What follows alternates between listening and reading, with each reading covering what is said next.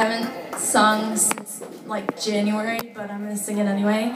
Um, it's the same idea. I wrote this actually back in like January, so the song is called Beautiful Smile. It's about my awesome friends who picked me up when I was down. And um, it's pretty self-explanatory, so here it is. I can tell you from experience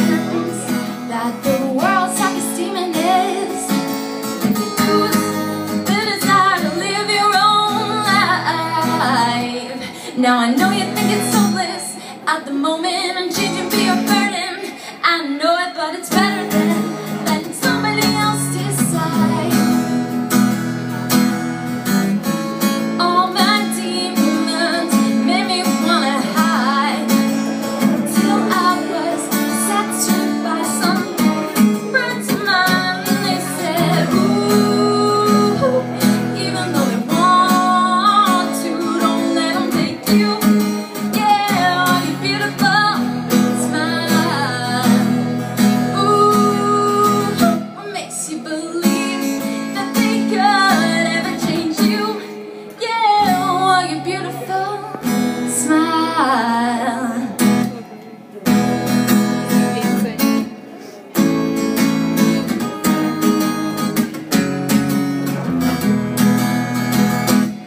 Now I know some way to catch a smile